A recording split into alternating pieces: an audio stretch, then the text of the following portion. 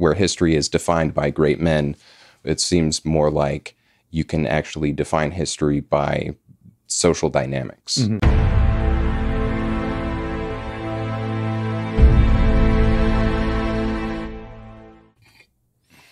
Hey everyone, welcome back to Mind Matters. I'm Harrison Koehli, joined by Adam Daniels and Elan Martin.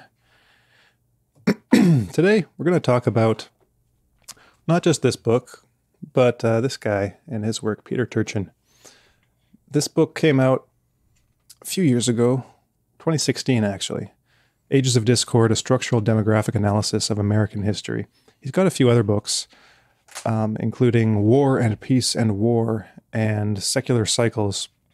Some of them are pretty academic, some are more approachable. This one has some sections with math that you can probably skip over if you don't like equations. Um, and I don't. So, but I still read them anyways, try to understand them. We'll get into that, but I want to talk a bit first about how I found this guy's work. Um, I was listening to a podcast, one of James Lindsay's podcasts on on new discourses. I think it was called something like, uh, oh, what was it? Something about the rise of like an overproduction of fake elites or something like that. And he mentioned Turchin's work. He said he wasn't actually familiar with Turchin. He'd heard of him and and heard his some of his ideas briefly described, but then gave his take on one of the problems that was going on in well, in just society in general, but which he noticed when he was in the university system. And that the way he described it, Lindsay, he described the that a lot of people would get into get into education, go to school, and get an advanced degree, and then therefore expect that they would be rewarded for it. Essentially, they expected the new status that should come along with getting that degree. And he goes into a lot more detail, but I'll, I'll, just leave that there and then get into what Turchin says. Turchin calls this elite overproduction. And this idea, just the brief description of it that Lindsay gave, um, inspired me to find Turchin's work and uh, read this book and get his other ones too. Because one of the things that it's just a, a short bit in Ponerology that Lobaczewski talks about. He, he talks about socio-professional uh, adaptation or adjustment. The idea that people should ideally fit in their profession. That if you have someone that is too smart, you know, you, basically, if you take some like genius level person, like a genius level creative person, or just a genius level like scientist type person, and you put them in a like a, a wage labor job, but they're not going to they're not going to feel like they're in the right place. They're going to they're going to know that they are socio professionally downwardly adjusted. That they're going to be um, in a lower position than they than they should be. And on the opposite side of of, uh, of that equation, you've got people who are incompetent and untalented who might be in positions um, that are kind of above their station. So you might have uh, a, a manager or a or a leader who really is incompetent, who who is in over his head. And so Lobaczewski points out that if in that latter case, when you have a person like that, they because they're kind of aware of their own deficiencies, they then feel the need to hide their deficiencies, and they become like uh, essentially little tyrants, like in the office place or or elsewhere. They because they have to kind of like enforce they have, they have to they have to enforce a rigid um, like work environment in order to maintain their positions so that their incompetence isn't revealed and so that none of their underlings who are actually smarter and more competent than them um, take their place essentially so you get this um, you get this when well oftentimes through cronyism or um, or just fraud but oftentimes through cronyism through political maneuvering and you know where it might be in a political system where positions of influence are doled out through like a, almost like a patronage system so or a family system like nepotism. So this there's this opening in this uh, corporation or there's this position and so i'm going to put my son into that position perhaps regardless of whether he's competent at all in that in that position and so you get uh, strategically like throughout a society you'll have positions with just incompetent people who are only there because of their political connections. And whereas ideally, those positions would be um, there would be a selection procedure, and like it's pretty automatic where people get placed where they're where they fit best. So um, ideally, you should have a person in a place that is like matched to their competence. So if a position requires a certain level of education or competence, then I then naturally that's the person that should get that job, get that position. But the thing that Lobaczewski said is that when you have a whole bunch of people who are downwardly adjusted, so who are um, beneath their station, then that breeds revolutionary sentiment because these people are disaffected. Um, they start dreaming of themselves um, in, in, a position in a position where they should be, dreaming, dreaming of themselves in a position of influence and power, and that can even go overboard to the point where they project themselves into positions that are that are greater than their actual abilities. So even even though they may be relatively more or they they relatively talented and more talented than their position would you know seem to indicate, they'll imagine themselves to be even more talented than they are. And when you combine that with a revolutionary situation, then you get a, a group of disaffected, um, you know, immiserated people who think that they can change the world for the better, put themselves in a position where they can change everything. And basically, that's too much for them. They're not cut out for that. In, in which case, they will then become the the upwardly adjusted persons, where they they are put they place themselves into a position either just in their mind, in their dreams, or in reality, in the case of a revolutionary takeover, of being the incompetent people who, who think they know what they're doing but who can't. So he said that it would be a good idea to come up with a a social adjustment indicator, like an index, like a like a value between negative one and one, and the closer to one it is, then that's the that shows a pretty healthy society where people are relatively or perfectly placed. That's never going to happen, of course. But the closer to one, the more the the more healthy, the more the more healthy the whole society is in the placement of its individuals. And then anything in the negative would be a potentially revolutionary situation. And so he just throws that out there as an idea and doesn't really um, develop it or go much further than that. But so so I w- so with that in mind, hearing this idea um, kind of got me interested. So I read this read this book. So this is one of his more recent ones. Uh, the, the, other ones I mentioned, Secular Cycles in War and Peace and War, are um, a bit older. And in this, he, he uses this this framework, uh, structural demographic theory, and it was in its first form was de- developed by a guy. I believe his name is John Goldstone. Um, I can check the name.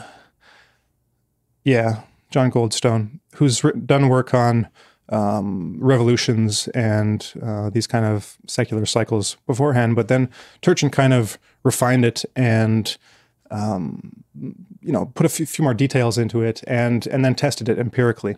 So what Turchin does, and he continues to do this um, in various different contexts, is like gets a whole bunch of data on all kinds of civilizations and uh, for like historical and present day. Uh, all these kind of metrics and what's going on population wise and with wages and with um, public well being and trends among the, the ruling class and all this stuff and kind of gets all the data and then graphs all these trends. And so it's really interesting if you like looking at graphs, I do. but the, the the core idea is to to to understand like in the like in the title War and Peace and War, this cyclical nature of of history and why why societies or empires rise and fall.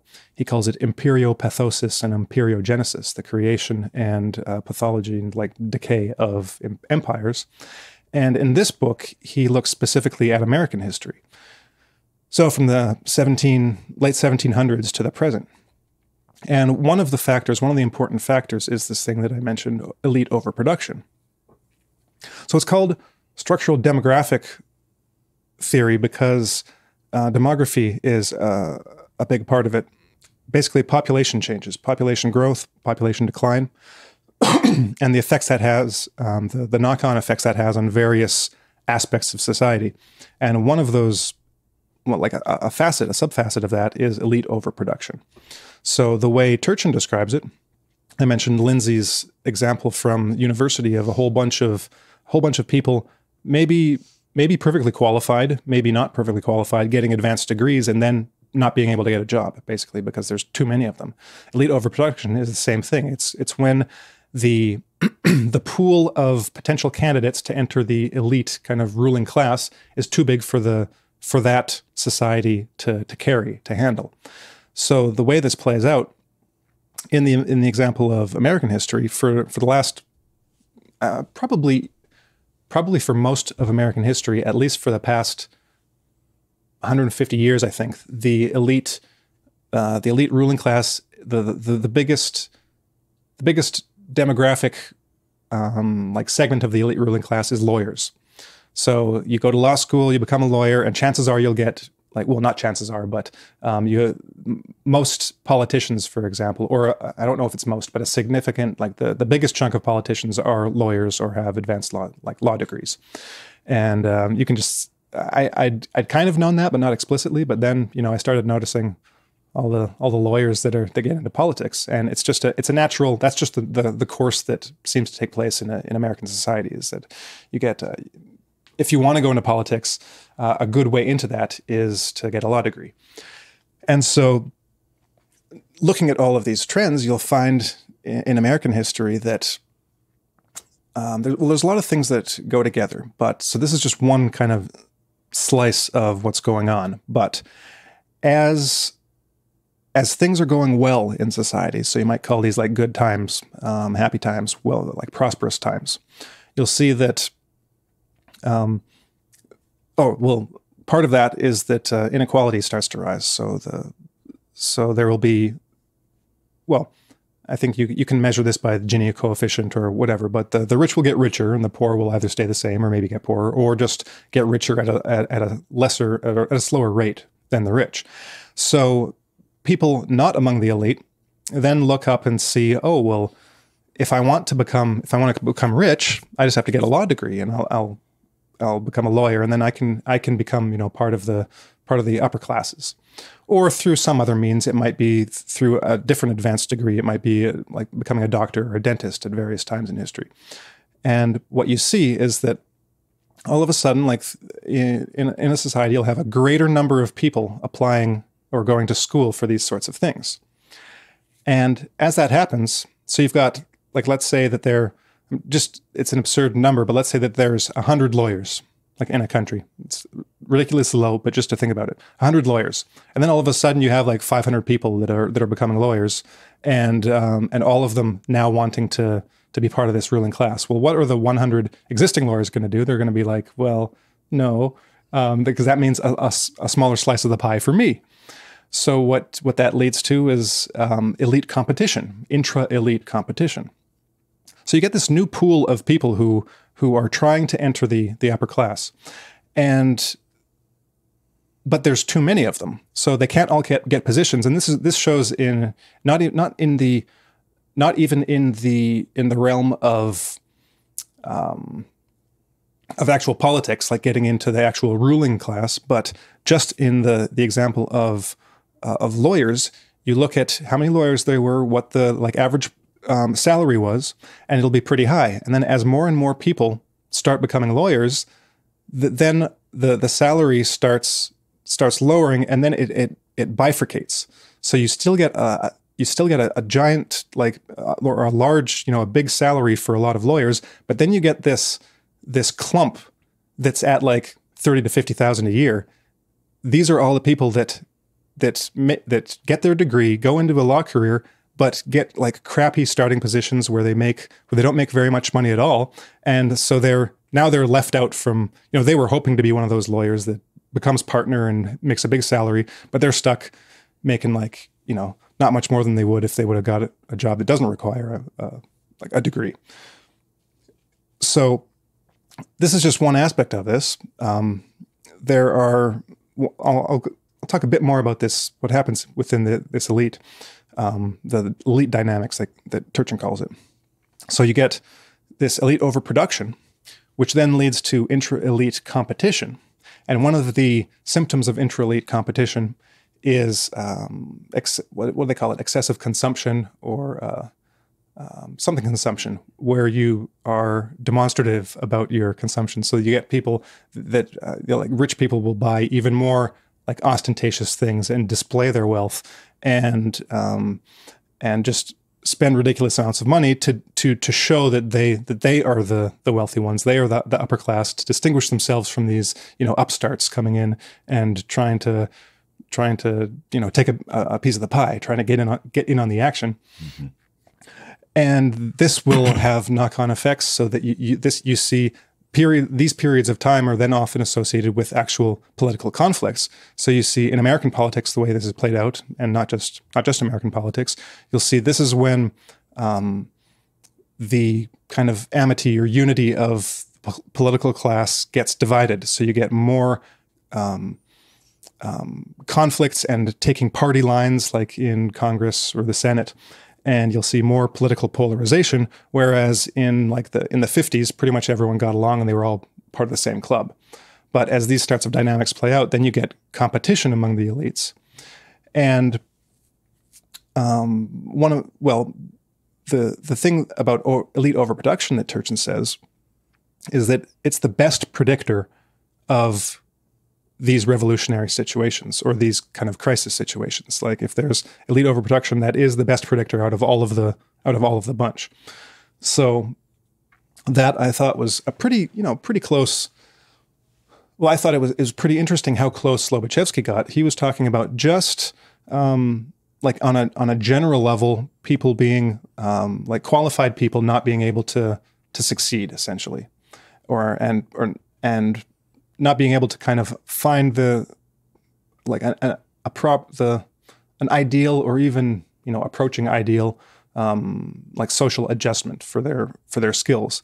But Turchin kind of um, I think through his work has kind of like zeroed in on what actually what the actual subset of that is. It's not just people in general. It's specifically within um, within these um, elite aspirants. You know, people who would who who would explicitly like to join the upper class. Like they might be they might be totally um, still totally qualified to to do so, but they're not getting the the they're not getting the the rewards and the, the privileges and the, the perquisites that they that they think they should as a result of getting this degree. So well, and, and you can you can see how that would breed resentment when um, you know you you do everything you're supposed to. You you pay for your tuition you or or you get a student loan you know expecting this big salary. You you, you go to year to, to school for all these years take grueling exams and then either can't find a job in your profession or you find a job and it's just it's a crappy job where you're not making much money. And so that that breeds resentment among the among the the kind of middle class upper class. Mm-hmm. and it's kind of sad because um, um, well, it's just the way things work. But it's only with this cluster or this constellation of things going on that that it actually makes a difference. If there weren't, if there wasn't elite overproduction going on, at least you know uh, the, this is the way things look based on all this data. Then, then, um, well, I'll, I'll phrase it differently. The way Turchin says puts it is that the only time that there is ever the chance for either a revolutionary climate um, or even just uh, like reforms or change or anything like that is when the the elites get involved in some way. Mm-hmm. So as long as the ruling classes are are happy with what they have and the way things are for them, mm-hmm. then it doesn't matter what's going on with the the people underneath. There might be there might be um, rebellions, revolts, things like that, but they're just crushed immediately or relatively quickly. There's kind of no hope. The only chance for any kind of rebellion or protest or, or revolution is when there's a disaffected part of the elites that get involved and then um, fund or support in some way the people on the bottom. So they it, it, is, it is essentially a patronage system. The the the disaffected among the the masses need a patron within or a group of patrons within the the ruling classes in order to support them, basically give them money and support to to be able to carry out their rebellion or their revolution. Otherwise, um, it's just pretty much hopeless. So that's actually one of those defining features is that um, through these through these cycles, it is the elite, overproduction that is the kind of the essential part of the equation for these things to all happen and gel. And of course, that's just one aspect of the theory, but I wanted to get that out there. Yeah. Well, um, he in the articles that I've read by him, he makes an interesting point of uh, looking at all of these dynamics as they apply to us right now mm-hmm. in contemporary political history, and making the distinctions between, uh, you know, what the left perceives uh, coming from the right wing of the political party uh, vis-a-vis the support for Trump and the 2020 election, and what the right, to the supporters of Trump, uh, what their perspective is, uh, looking at the left's movement towards uh, towards certain um, uh, policies and developments, and I both liked and disliked that analysis of it. Uh, I liked it because it was uh, this kind of um, macro view of of the situation and exactly you know what fuels uh, dissent and the possibility for uh, a greater amount of crisis uh, to be developed. Um, I do think he he doesn't quite take as strong uh, of a position in some regards uh, regarding what may actually be a, a correct approach um, well, he does, and he, and he doesn't. Uh, but the, you know, I, I, I only wish he it it felt stronger to me. But what's valuable about it is, of course, this perception um, on the part of, say, the the right, uh, the kind of middle of the road right that is, not not an ultra conservative or or totalitarian right, uh, but this kind of basic conservative um, uh, what how would you describe it in the U.S. Uh, kind of middle of the road, large making up a large percentage of of people that uh, there there are interests in the U.S.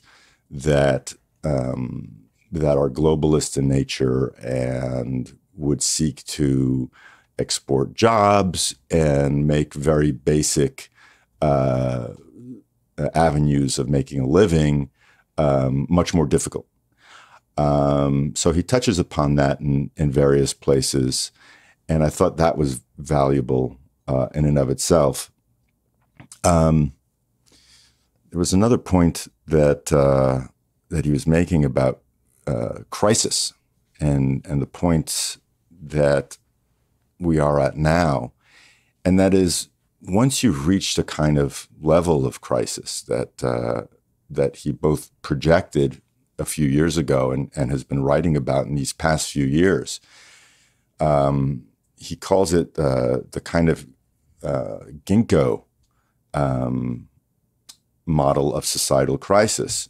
He makes the analogy of a, a ginkgo leaf that has these striations that that kind of go out in all these different directions, and the idea is that uh, uh, instability can manifest itself in any number of ways, and and most of those ways, uh, if we look back at prior societies at, at, different nations around the world that have suffered some form of revolution, they're all bad.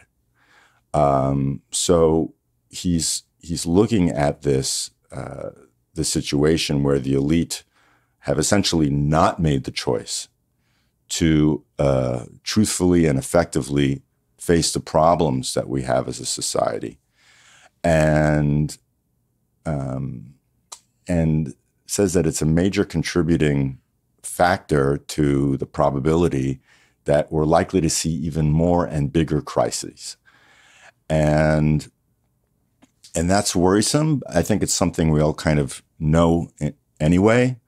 Uh, but it's it's interesting nonetheless to uh, read his analysis of it and look at his arguments.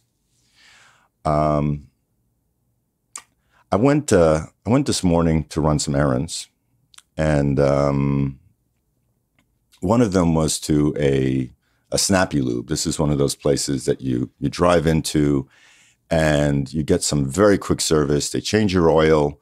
They uh, they check your tires. They look at all of the the fluids, uh, the the precious car car fluids that uh, that you want to have uh, replenished. Uh, Precious auto bodily fluids. perfect. Um, and they're uh, and they're quick about it, and they know exactly what they're doing. With a smile on their face, right? And they had a big smile on their face. And uh, this was a place I'd never been to before, and uh, I couldn't make an appointment with my um, my regular mechanic. They they were booked out for weeks, and the, the the the place that was closer to me was unavailable for another week. And it was really time to change the oil and have a car looked at. So I went to this place I'd never been to before.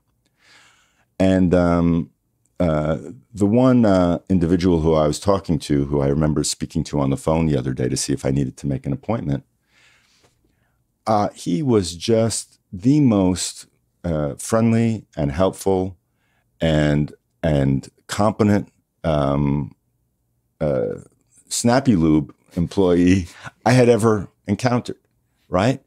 And I, you know, I, I was just very happy and impressed uh, with his service, and um, and I thanked him and paid him and went on my way and was glad that he was there to do what he was there to do. I then had to uh, run an errand uh, to have uh, our vacuum cleaner um, checked out because uh, this was the second time in as many months that it wasn't working properly. And um, this vacuum cleaner service repair guy did a fantastic job uh, the first time. And, um, and this time, he showed me where using an air compressor uh, will, will clean out areas I had never cleaned before. And he, he showed me the parts. He took his time with me. He didn't want any money for this service. He educated me basically.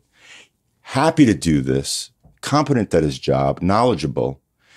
And I just, and I was thinking, I was leaving both of these places so happy uh, that there were these people who were uh, good at their jobs, happy to be doing their jobs, content with making a living wage at their um, at their relatively blue collar working class jobs in their positions.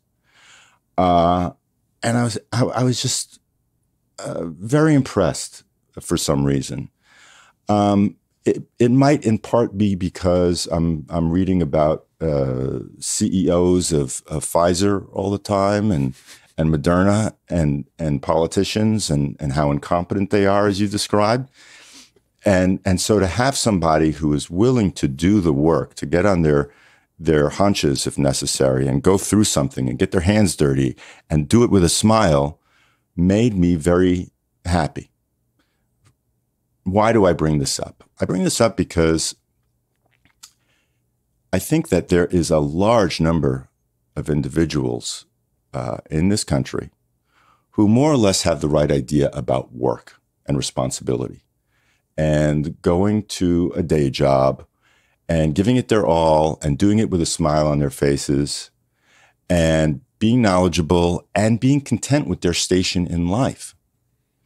And so, you know, and that, and, and so when you, when you realize that there's a whole segment of the population that you may not have direct experience with living in a city, but when you have a, a whole segment of the population that has uh, manufacturing jobs and and manual labor jobs that have been exported, that have been extracted out of the workforce because it would require a corporation to to take money out of the bottom line.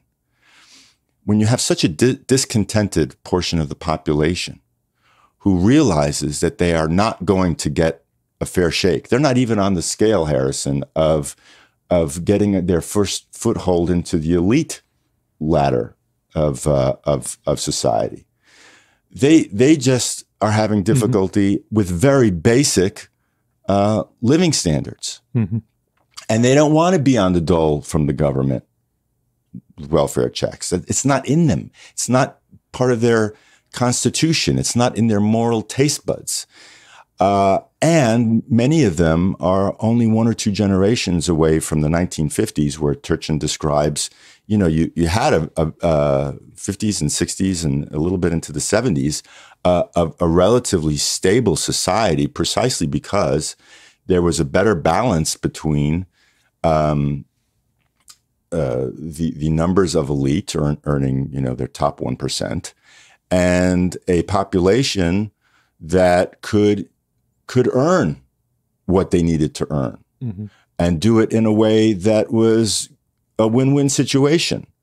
So uh, what we what we're seeing here, the Wetiko virus, if you would, uh, the the the greed sickness, um, at this very top, has effectively disenfranchised a very large number of people, and we take this for granted we don't really realize just how um, injurious it is, not just for those individuals who who don't have these opportunities because because of this kind of new, you know, fourth turning movement that's extracting uh, avenues of employment and and wage earning. But you have uh, this. Um, they're just making it worse. They're just they're just turning the wheels even further, mechanizing everything to a greater degree, robotics, AI, technology, it's it's becoming the kind of overarching um, globalist elite uh, uh, mechanism for production on steroids. And so uh, there really is no way out because, like you said earlier, there there ha- there are very few real, sincere, active champions among the elite that we could see. We can count them on one hand, I think, who are who are willing to go to bat and and cre- and and bridge the gap between uh, the the elite that are attempting to accrue even more money and even more influence to themselves. Well, I don't think it's not even a matter of of individuals that like individuals among the elite that might be you know champions for the for the underclass, you might put it. It's uh, if you look at the the example of the '50s, there were two periods of what Turchin calls um, period times of good feelings, as he calls them. It was pretty much two decades in the entire, you know, in all of American history: the 1820s and the 1950s, and maybe a few years added on before or after, but predominantly those decades. And it really the the parts that the parts that aren't structural demographic, like like in the name of it, which are pretty much uh, largely impersonal. Like there isn't um, it, it, pretty much it's pretty it pretty much plays out like clockwork, um, more or less. The the cultural factors that come in, at least to the large scale dynamics, are almost collective they're they have to do with trends among large groups of people. Mm-hmm. So it's um, it, it's not even. I, would say it's probably probably doubtful that any of those few individuals could actually do anything. Mm. You know, it might be it might be great if if if they would show up and at least you know give give some uh, you know give people a little bit of hope or whatever. But it's they're going to be one person among the crowd, even if they're in a in a position of of power. There's not much they can do to the to the forces that are among large groups of people, because the one of the things that he points out is in the I can't remember all the details, but like before and after the 50s, you had actual like changes in essentially like widely held beliefs and norms among the elite. So they they basically changed like from the 50s to the 60s to the 70s, and it, it's almost like a it, it's a it's a cultural norm that gets accepted and that, that gets introduced, and so cultural norms change. So that there's there's that effect um, in these large scale dynamics, mm-hmm. but um, an individual isn't going to be able to change that necessarily. Well, maybe I'm just too cynical. Maybe it is possible, but you're, you're too cynical. But well, okay, here's something to support my cynicism. And, and it, I'll it say never, something that's, here, that, here's that something counters that. Support my cynicism. It's never actually happened. Like if you look at history, it never happens. Well, how about uh, Roosevelt's Green New Deal? Well, but that was that was a Green New Deal. Not Green New Deal. the, the New Deal. Well, I have Green New Deal but, on the mind. But that's he talks about that in the book too. That that was actually part of that was within these large scale trends. Mm-hmm. So it it happened at the right time. That's the only time it could have happened. You know, and there well, there's all kinds of stuff we could get into about the New Deal. But it you know if it basically It was moving in one direction, Yeah. one way or another. It just Yeah. so happened that Roosevelt was the one to like head it up. Mm-hmm. And I think uh, kind of like when one of the aspects that Turchin gets into uh, that you're talking about is something that he calls asabiya, which is uh, what, what how does that asabiya. That was how it's spelled. I have no idea how it's uh, pronounced. How's it spelled? A S A B I Y A. Oh yeah, I don't even know. He wrote about it in uh, War and Peace and War. Oh okay. Um, this came from a uh, Islamic Scholar. scholar. Yeah, he was kind of like a, a sociologist before the time of sociologists, uh, and he kind of like uh, uh, started s- with this idea, which is called asabiya, but it's what it means is social cohesion, an ability of a group to to act in unison. And so, one of the things that he talks about in War and Peace and War is the fact that, like in the fifties, there was this. Uh, high point of asabiya, this this high point of of society to work together towards something, and so that's why you have so much uh, cooperation. That was why there was a thriving uh, community of uh, like bowling leagues and elk elk lodges and and those kind of a thing, those kinds of things, is because there was this this high point of uh, social cohesion. And so when you have that, you can you can do things together because it's all built on this trust that you have amongst everyone else that you trust them to do the right thing as they trust you to do the right thing and once that starts to break down well that's when you start to have all of these other problems pop up which is largely impersonal like you're saying. It's just that um, you know when you get down to the nitty gritty you know you have specific examples but on the whole of it it it's just the way that you know it kind of happens. So like um i guess what what you were talking about were the the changes of the social norm. Um over time has become more uh atomized individualistic materialism Mhm. and so there's a lower level of asabiya inherent in that because it's about you and not about working together for mutual cooperation and work, or mutual good. Mhm.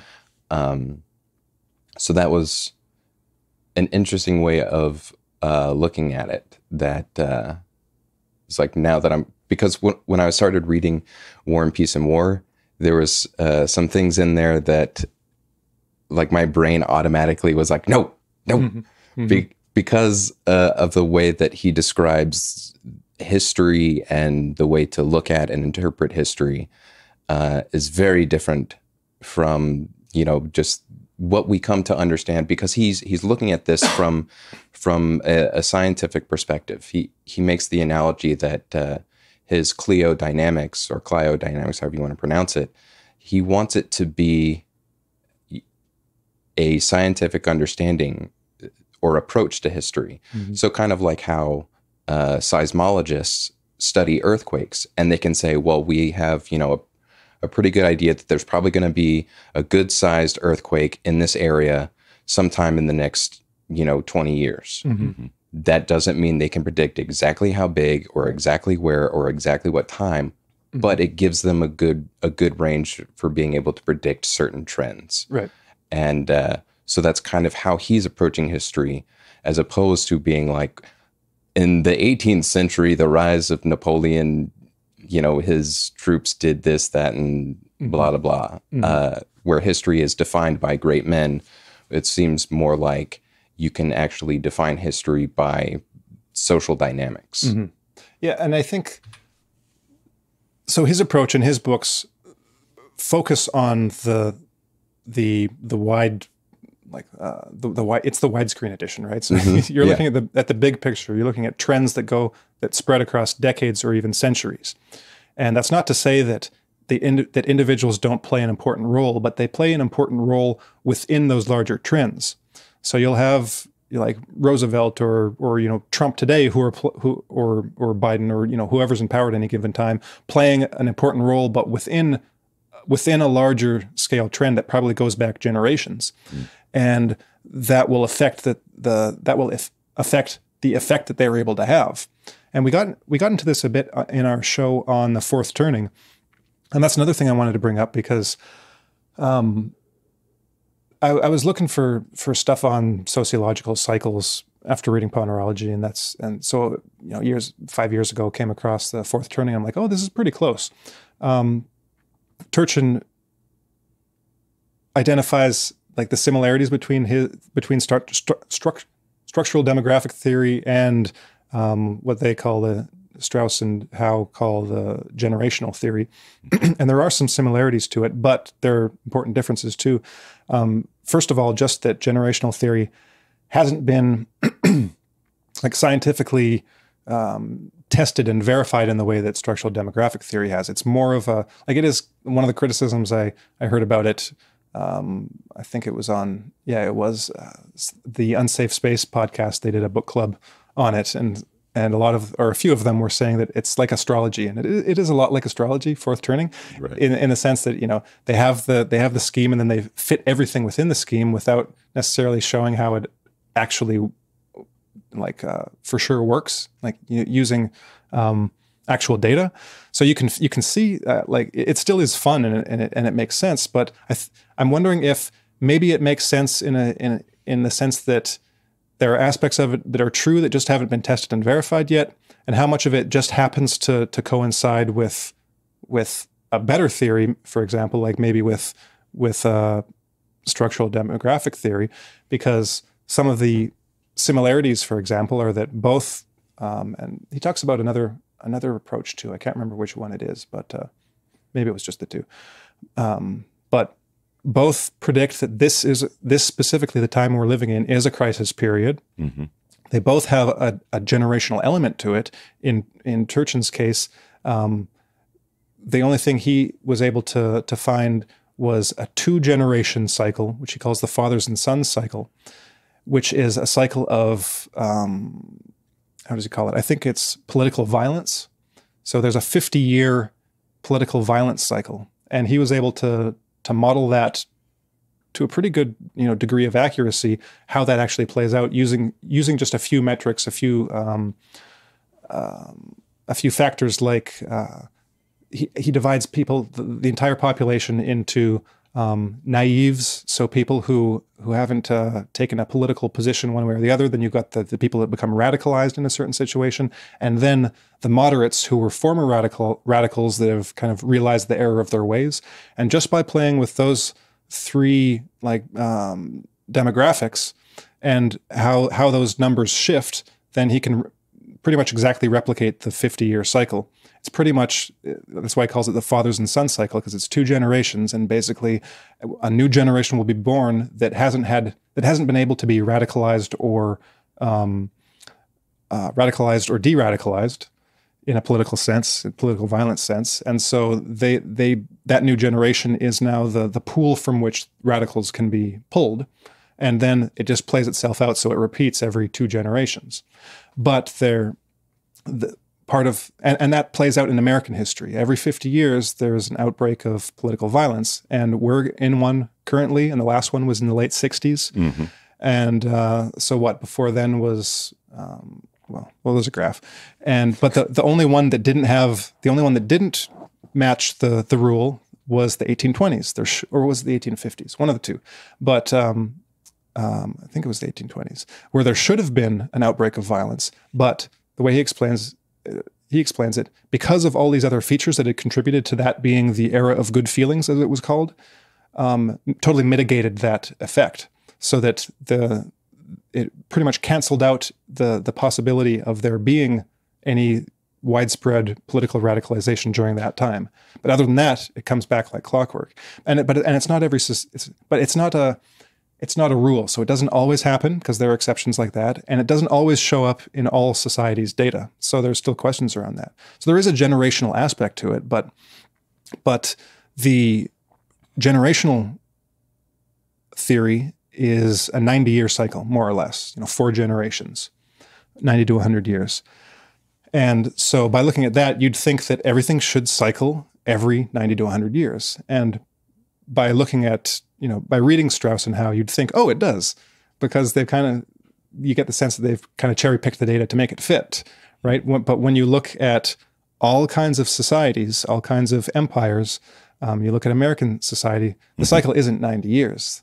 The cycles are, like Lobaczewski said, when, and he was he was citing, I think, uh, Pitirim Sorokin, who was an early guy doing this anal- these, these types of analyses on pre-industrial societies, the cycle is like 200 to 300 years. That's how long. That's how long these cycles have been traditionally in pre-industrial societies. Um, so, centuries long, and it, so it takes at least you know two centuries to get through an entire cycle. And that's so that's an interesting thing about pre-industrial societies. And in those cases, um, there are some differences between pre-industrial and modern industrial societies that he gets into. So in those pre-industrial societies, for instance, if you just take one of them, there isn't going uh, like large-scale immigration is more of a modern thing. So in a lot of these societies, they didn't have large-scale um, immigration, and they were um, primarily agrarian societies. So this is where like Malthusianism comes in, and why why um, why one of the aspects he calls one of the aspects of of structural demographic theory, neo-Malthusian, because it's not uh, it's not Malthusian in the, in the, the wide sense. Um, it's strictly in the sense of in an agrarian in an in an agrarian society, you've got a certain amount of of arable land, and when you have too many, it's kind of like with elite overproduction. When you have too many people on the on the on the farmland, it can't carry that many people, and they move to the cities.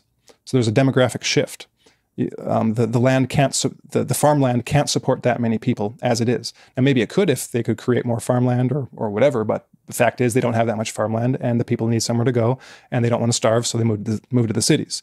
So the the primary um, mover you know mover and shaker in in agrarian societies was uh, demography. It was population growth. When population growth gets too big, people move to the cities.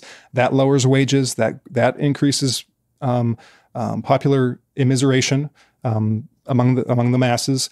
You get more elite aspirants now wanting to enter the upper class. You get a wider disparity between the the rich and the and the poor. So you have this popular you, you have this widespread immiseration of the of the the working class or the peasants, and you have now you have um, intra elite competition, and then you've the, the, the third aspect is the um, state fiscal crisis. So you've got the those three together um, are the three factors that he puts into his political stress index, which is kind of what Lobaczewski was looking for, was adv- advising to, to create, was a political stress index to show when societies are kind of like reaching the breaking point. And that's how industrial or pre-industrial societies played out. Now with modern industrial, modern industrial societies, like in the US, the cycle has been shorter.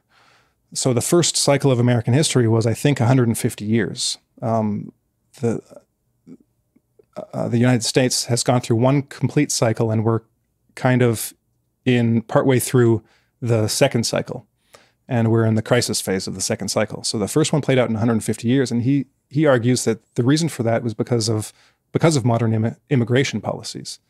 Um, that that well, immigration immigration and technology. Like there's a whole bunch of things that contribute, but at least in the population department, when you add in kind of like artificial um, population growth in the form of immigration, that's going to have an effect on these economic and, and structural processes. And it has the effect of, in, in this case, shortening the cycle from two to 300 years to 150 years. So it plays out in a shorter amount of time. and I think in some of his articles, he he points out that well this because I get the I get the impression that he's probably more more liberal than he is conservative, mm-hmm. but at the same time, um, he he points out well this is kind of why conservatives think the way they think about immigration is because this contributes to to what's going on. Like like immigration isn't always and just a good thing.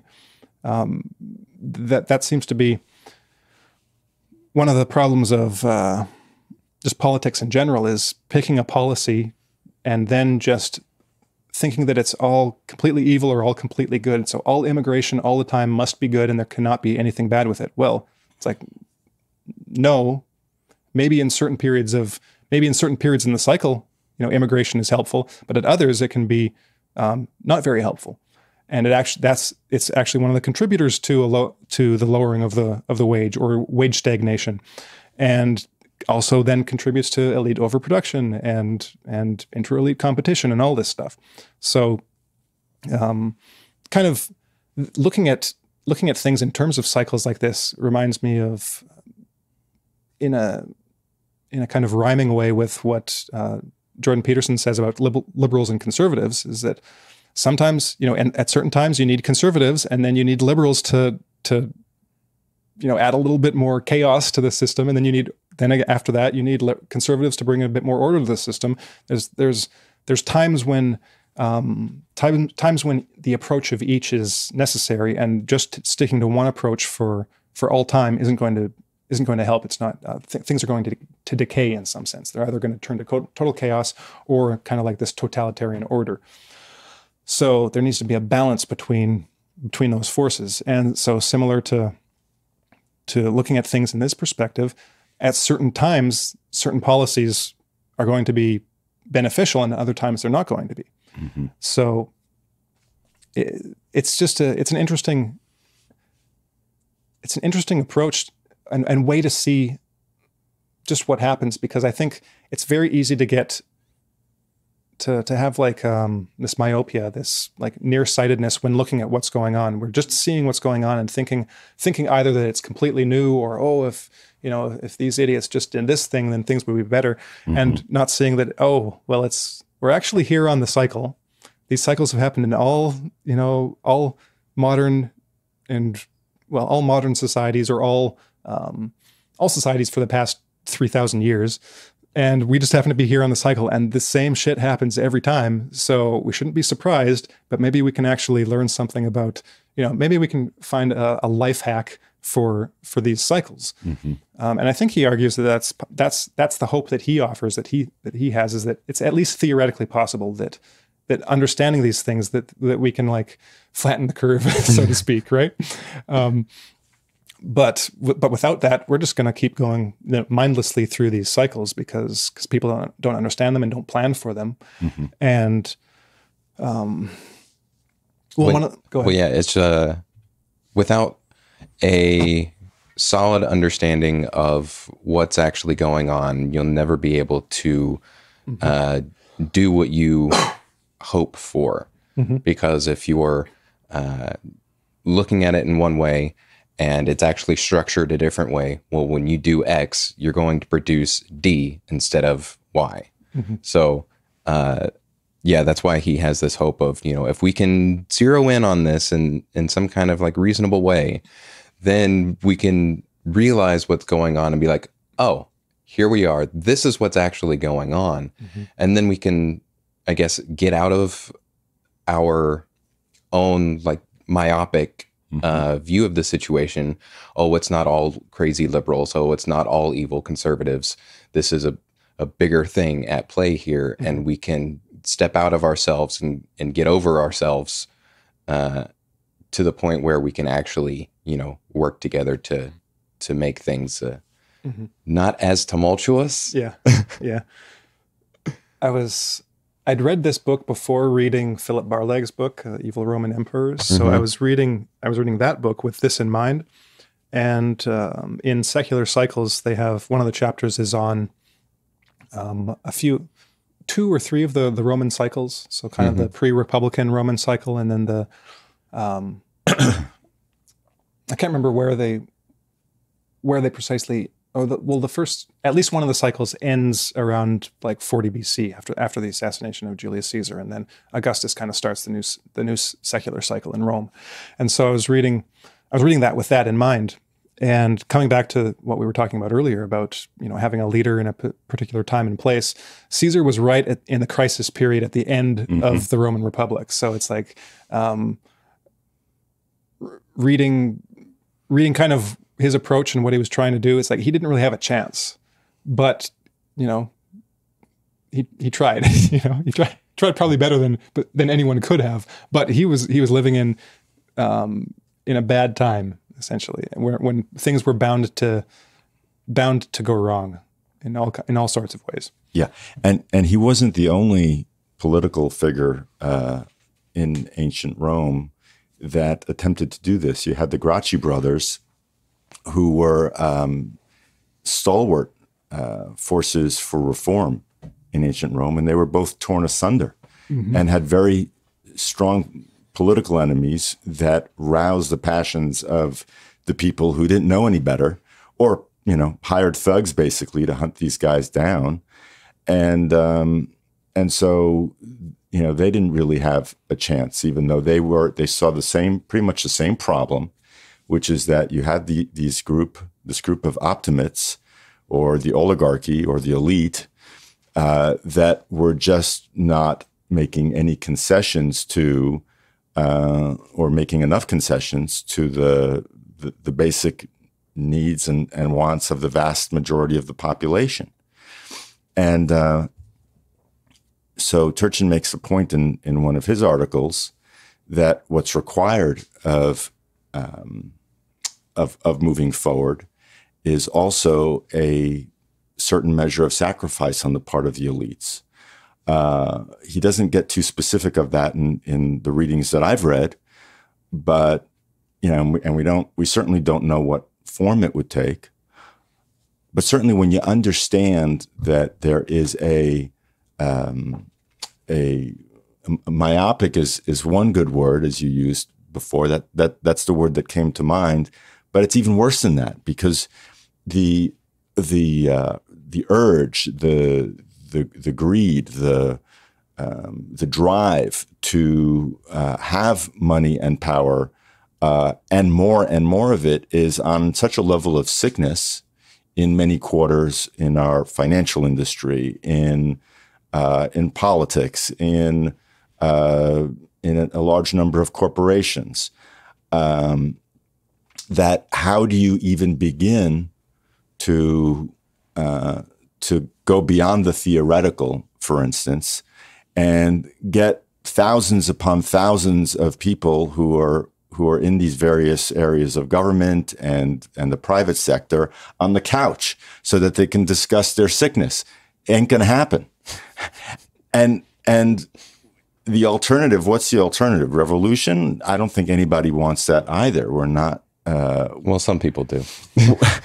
well, when I say we, I mean I mean, us here, we, we, yeah. we know just how awful such a eventuality is, even though, you know, it, it may be satisfying on some level to see uh, resistance to the, um, the, the kind of totally unreasonable uh, policies and, and effects of totalitarian thinking and, uh, and social um, new new social laws and, and of all of all sorts.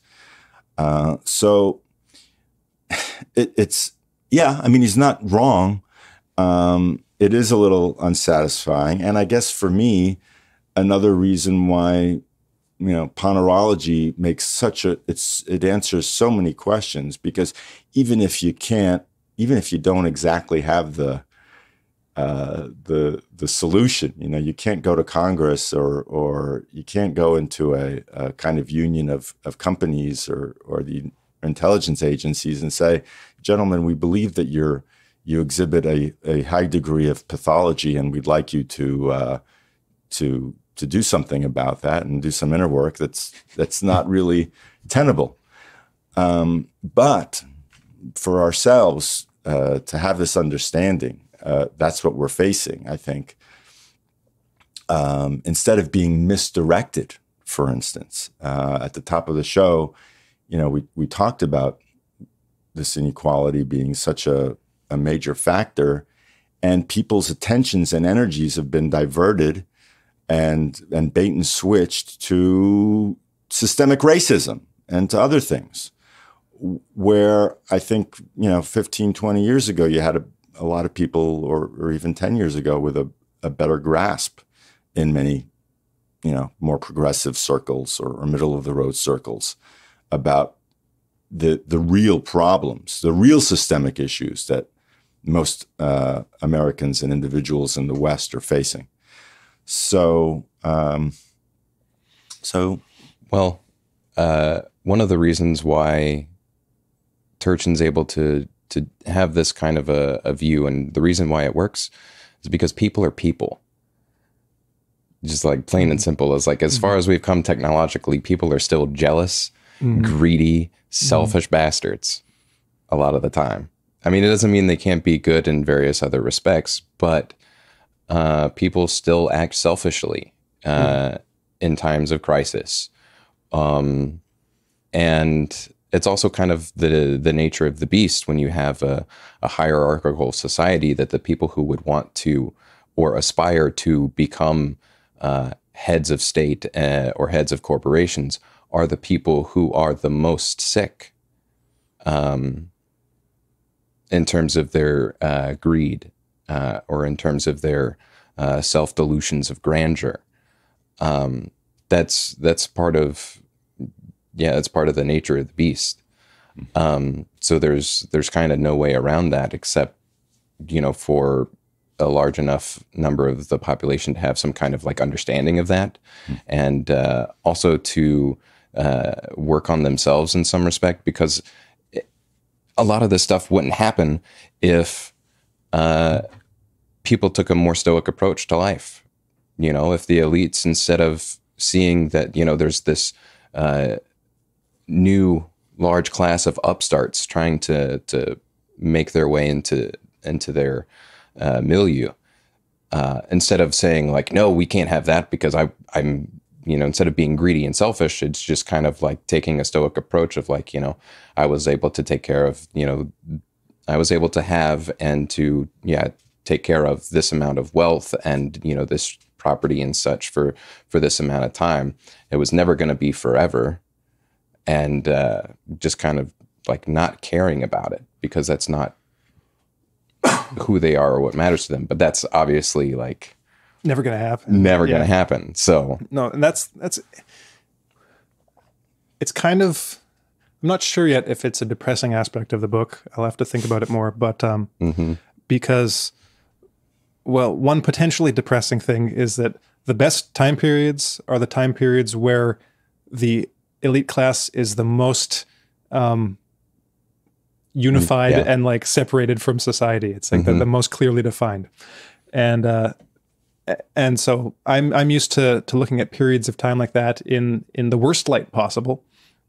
Um, but and even when reading it, you see, you know, there's from a from a like a leftist socialist perspective, there's never a good time, right? There's mm-hmm. always it's well, the only good time probably is when people are the most miserable because then you can have a revolution. But otherwise, there's always things to criticize, right? There's always things that uh, that's you can look at from a certain perspective and say, "Oh, it's just terrible. This is the way things are." Well, it it just so happens that one of those terrible things is, you know, maybe or or maybe not objectively, is these periods of of stability, and um,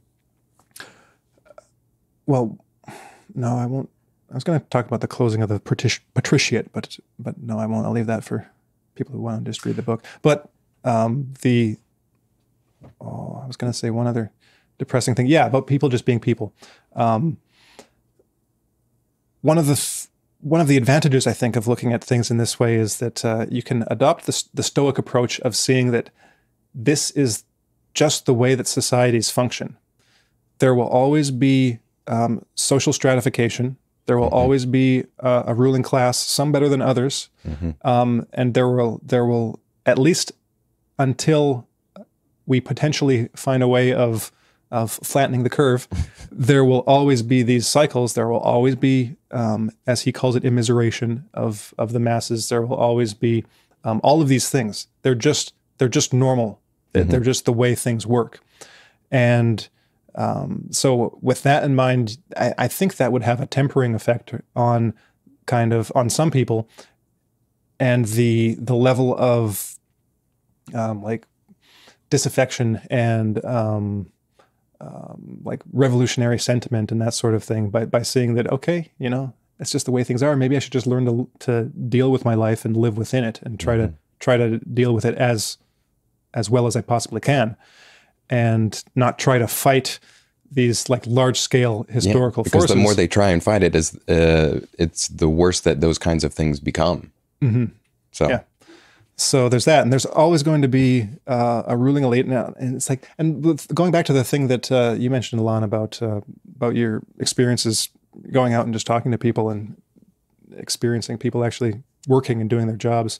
Um, one of the things that Lobaczewski points out is that that's what most people are like if they're able to find, you know, their a place um, and have a relatively decent level of common sense. Is that most people are fine with that. Most people are fine making a living wage. Most people are fine, um, or or a bit more, a bit less, or whatever. Like most people, mo- people don't tend to be resentful of people in a better position than them if those people, if they can see that those people deserve it in some way. Like no one, no sane person, no rational person is totally jealous of some virtuoso violinist because they're a virtuoso violinist and they get big concerts and and have some degree of of like fame in the violinist community or the you know the classical music listening community. Mm-hmm. No, they admire it. And if you have a really good job or a really good boss, you admire your boss. You get along with them, right? It's it's that's that's what a that's one aspect of what a healthy society looks like is that people understand that people have different talents and people are better placed in different positions. Mm-hmm. And they're fine with it. And in fact, get something out of it. Like people enjoy watching the Olympics. They enjoy watching people who are excellent, people or people who are beautiful or people that are extremely talented. People enjoy that inequality. mm-hmm. um, and even if it might hurt to admit it, they they people get immense amounts of satisfaction, enjoyment, and uh, like fulfillment out of the inequality not only of themselves but of others because everything they everything they like and appreciate about the cultural world is the result of some inequality. It's the result of someone having a massive amount of talent that you don't have. Mm-hmm. And that's great because I don't have it so so naturally I have to look to someone else for it. Because if I can't, you know, if I can't write the Ninth Symphony, well I'm pretty, you know, I'm pretty glad that Beethoven was able to um, because otherwise there would be no ninth there symphony. would be no ninth symphony. There would be no you know masterworks.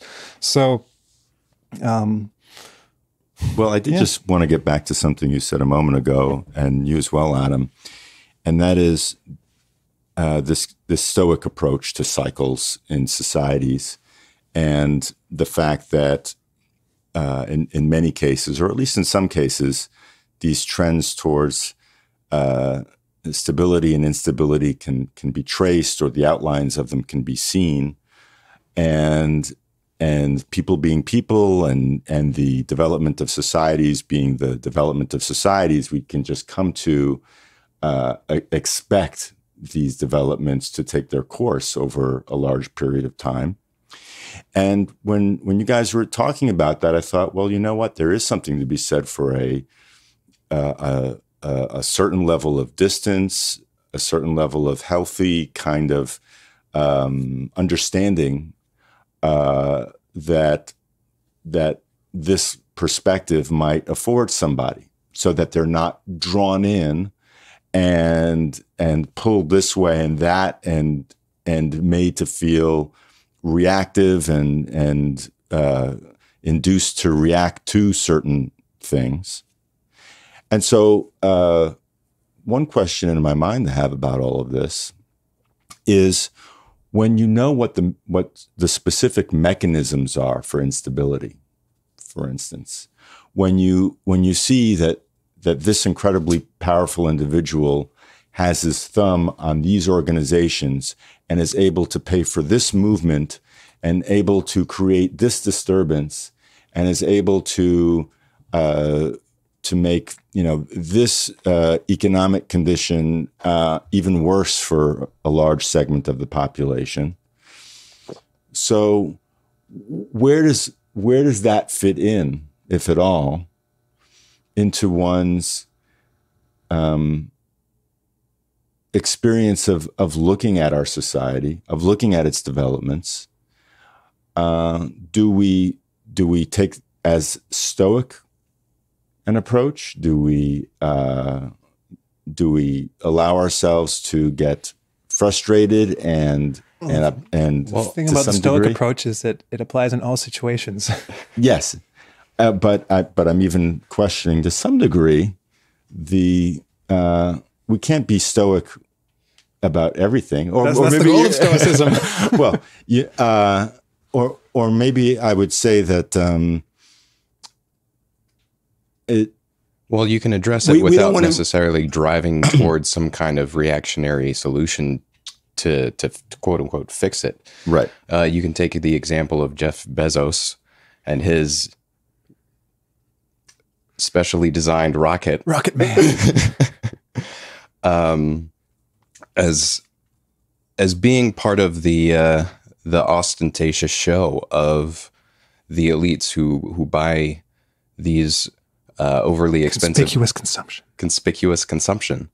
Uh, it's just another example of that on a on a grander scale um, that I think accurately looked at simply gets put into the already set out framework. It's just another part uh, of this whole thing that uh, you know it's it's not new and it's not outside of the scope.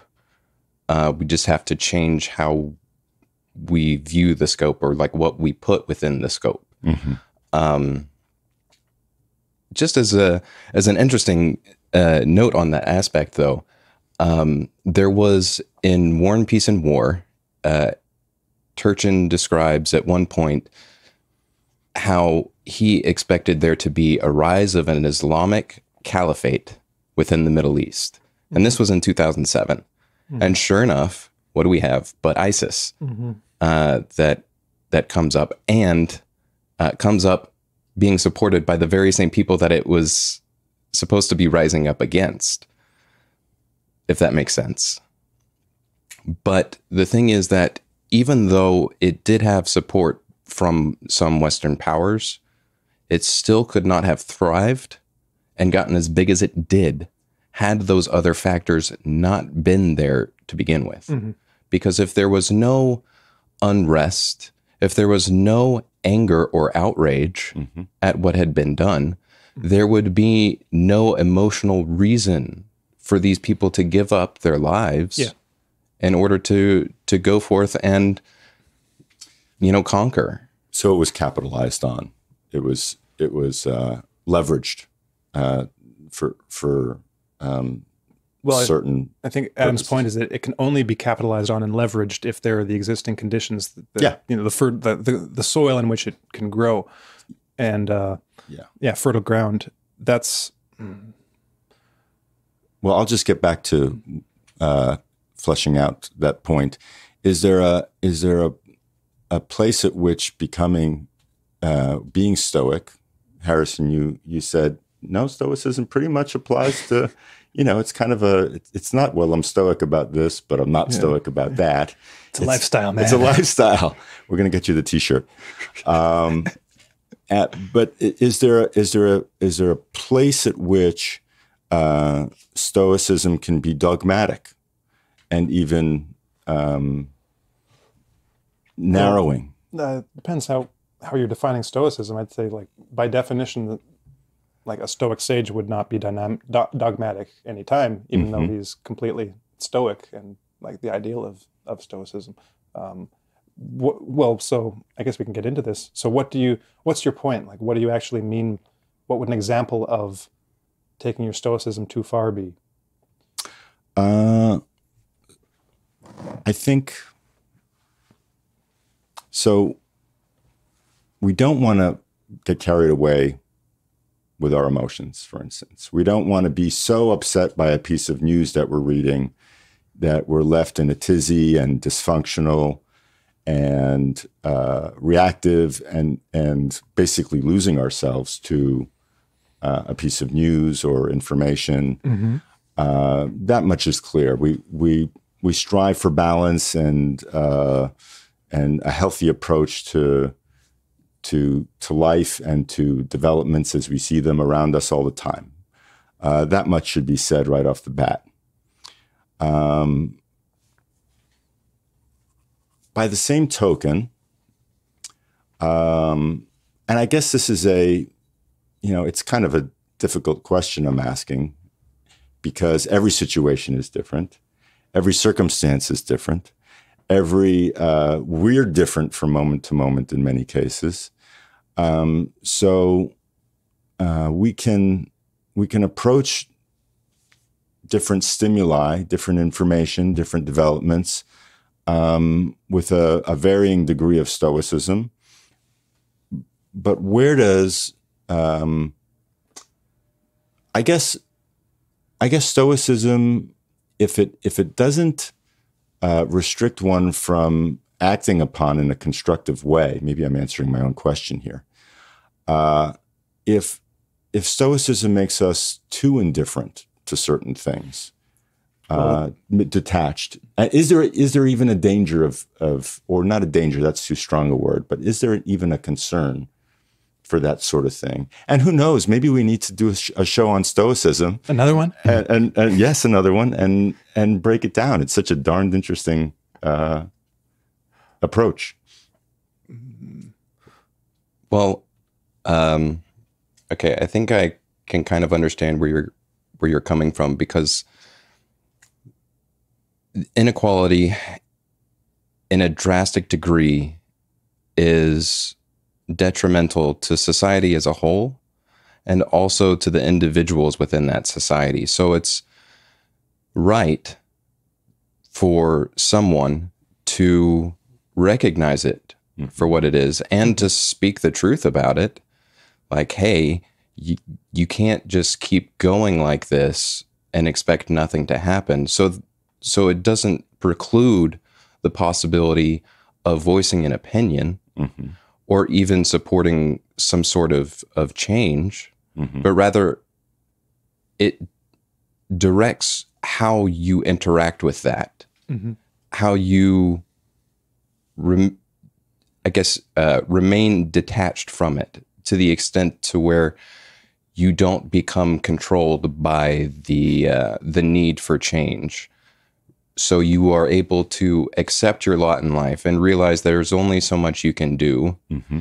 and uh, only so much things can can be changed by by you alone or even you with a group of people you can accept that and work to the best of your ability with what you have at your disposal to to make your life and the life of those around you as uh, good as possible while at the same time um, yeah, just speaking speaking the truth, I guess would be the thing about it is you know you can uh, take care of what you got and you know learn about as much as you can, speak out where you uh, find it uh, appropriate, mm-hmm. um, but understanding that you know as an example. Uh, supporting critical race theory and tr- and becoming a critical race theorist and calling for a complete restructuring of society and getting rid of uh, capitalism entirely and all of those kinds of things is not going to lead to anything good. Mm-hmm.